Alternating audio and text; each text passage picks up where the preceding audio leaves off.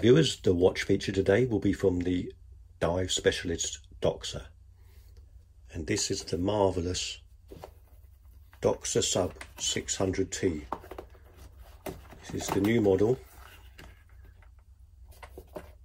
And it's a spectacular watch. So the case size on this one is a very reasonable 40 millimeters. The lug to lug is 47.6 it's 14.15 thick. It's quite a quite a thick watch. And the lug width is 20 mil. Now this is powered by the Sellita SW200-1.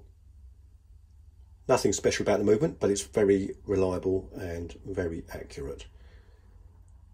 Now this is a new model from Doxa. It was only recently released and uh, it is a relaunch of the original Sub 600 and it really is a fantastic piece. Very solid. The build quality on this, as with all Doxa watches, is amazing.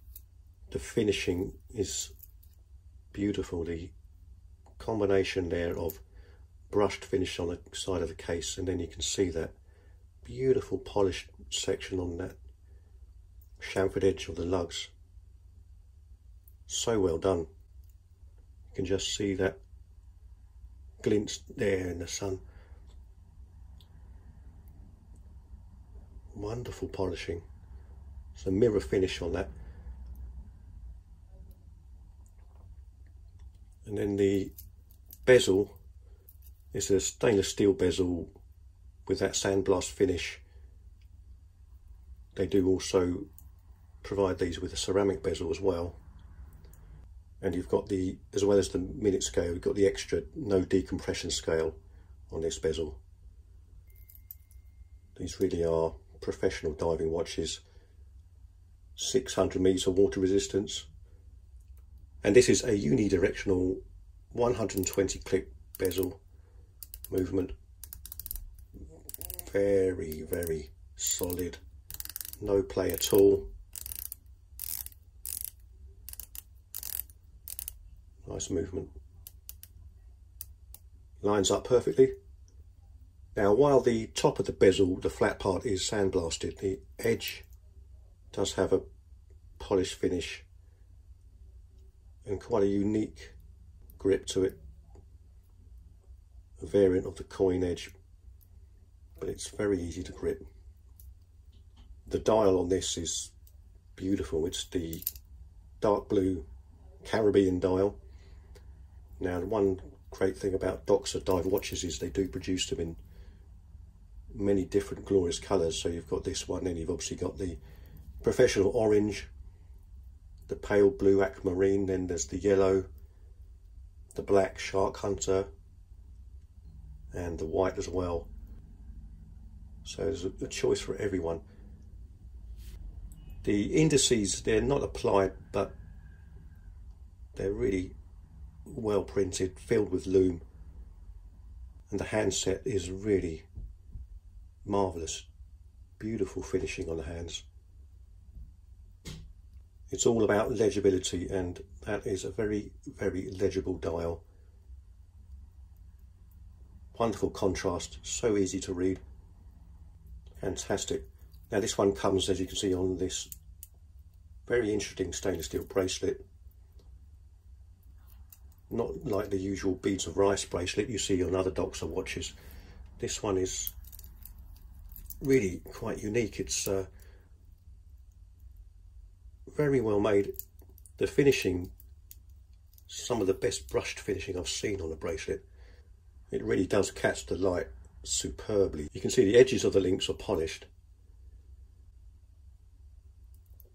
And the flat surface there is all brushed but it is beautiful. Really plays in the light nicely. And they articulate so smoothly. It's just silky silky smooth. There is a quite a gap in between the links but that's deliberate to make it very flexible and comfortable. And you can just see it drapes just drapes over the watch and your wrist A really, really well done bracelet. The clasp, very nice too. Really well embossed with the logo and the fish. Brushed finish. Very solid.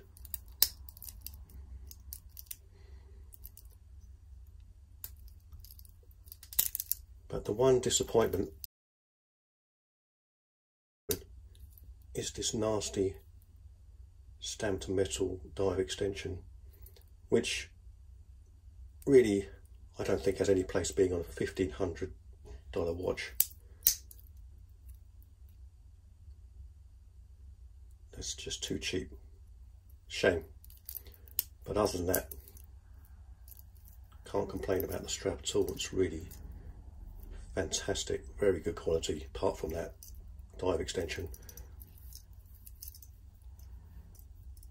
The crown side again with the fish, screw down crown,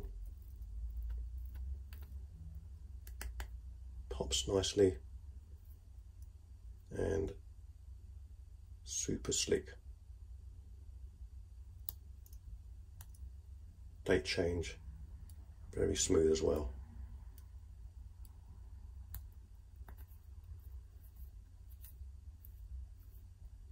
And obviously that's in the four o'clock position. It's a very snug fit in those crown guards. That's going nowhere. Very secure. I think Doxa watches are so unique.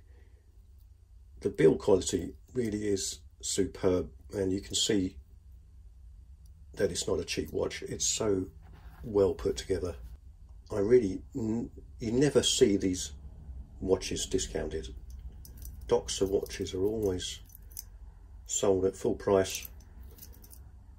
And I think there's a good reason why. They're just so well made. These are high-end dive watches and um, there's a lot of demand for them. Very popular. People appreciate the fit and finish and the superb build quality of each Doxa watch. And this new 600 is absolutely fantastic. It's got a good weight to it. The, the watch is unique looking, but it's not garish in any way. It's quite a nice compact size. So let's have a look at that case back as well. Because that really is smart. Wonderful deep embossing. Beautifully done. Mirror polish finish on the outside of that fish logo the yelly fish.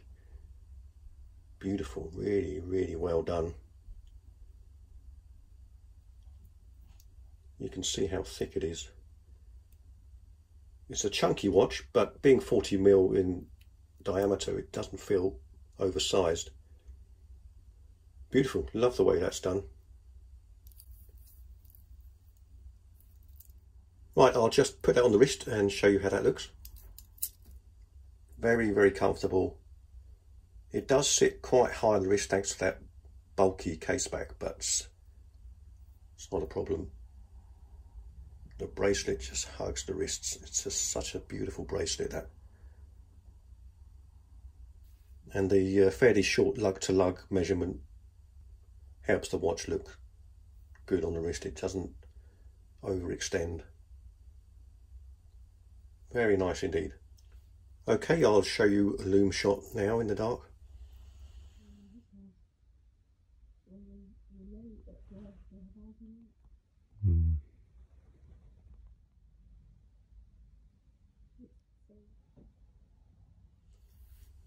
This is a very solid, handsome piece. It's not cheap. These ones retail at around about £1,300, $1,500 and with the ceramic bezel then it's a little bit more as well. Or if you prefer the rubber strap then it's a bit cheaper. So yeah it's it's quite expensive but it certainly feels worth that price. I mean it's not a overpriced watch. The build quality really is exceptional. And also it's a very unique watch. It's something a little bit different, and in my opinion, it's very pleasing to the eye. Okay, let's uh, zoom in on that dial and see that in a bit more detail. See how crisp that printing is. It's absolutely perfect.